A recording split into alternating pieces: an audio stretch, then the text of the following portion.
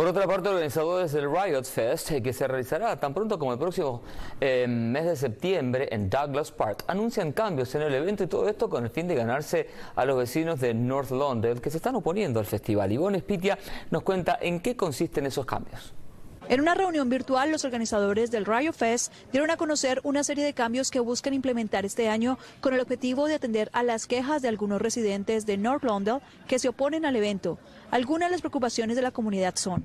Cuando está el festival no hay estacionamientos, los que vivimos aquí en esta área pues no tenemos estacionamiento. La mera verdad en contra porque no podemos traer a los niños y aquí las calles se llenan mucho y pues, a veces hasta el mismo policía en que vive uno en el área de la casa no nos dejan entrar.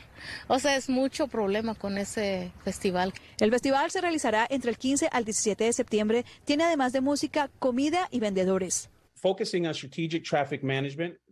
Dentro de los cambios que busca implementar, incluyen nuevas medidas para manejar el tráfico, también controlar el ruido y rutas para acceder al parque. La idea es priorizar las necesidades de los hospitales que hay en la zona y el acceso a los residentes a sus hogares. Vamos a minimizar el impacto del sonido y algunas de las soluciones es que mantendremos las bocinas alejadas de los hospitales y direccionadas hacia una zona que tecnológicamente mantendrá los niveles de volumen adecuado. Agregan que se mantendrán abiertas las canchas de fútbol y de tenis, así como otras zonas que antes eran usadas por el personal técnico del festival.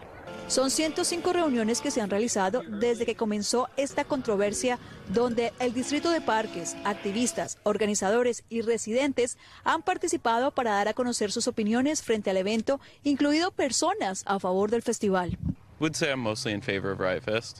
Me siento más a favor del Rayo Fest porque siento que invierten mucho dinero en ese parque y hay mejoramiento en el área, aunque entiendo las preocupaciones de la gente.